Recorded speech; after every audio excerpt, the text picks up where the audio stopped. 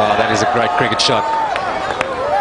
He's in fact gone out the ground, down the wicket. Beautifully timed by Herschelle Gibbs. That's great to watch that. Well, if you're not bowling, Herschelle Gibbs 38 off 31 balls now, starting to open up. Liking the look of these short, straight boundaries here at Warners Park. Gibbs goes again. Consecutive sixes to Herschelle Gibbs. Remarkable shots there. Fair to say he's opening his shoulders a fair bit. That's what makes him so good to watch. What's he going to follow it up with?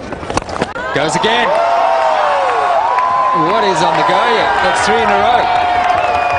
Daryl, I'm going to call for the helmet. That's nearly knocked us guys up here at the commentary box. That was the off spinner there. Gibbs acknowledges an excellent 50. Quick pace of 33 balls, including four sixes.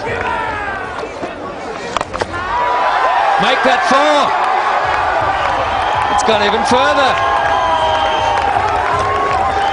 Don't worry about the short boundaries. Not big enough to Herschelle Gibbs all the way, four consecutive sixes this over.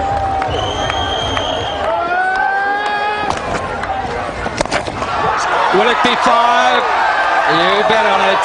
That's five in a row to Gibbs. Superb start. Saw it was short, thought he was in trouble, and just bangs it straight again. Just over left field there, it's baseball. So Gibbs with the opportunity to hit six sixes in an over.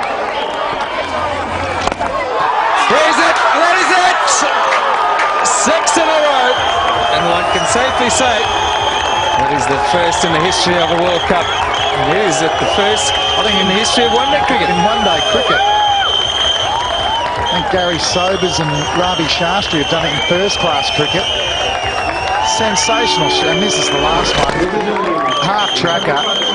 Gibbs, baseball-like, smashes it over the boundary and look at the elation of his teammates and why wouldn't you? Sensational stuff, Herschelle Gibbs.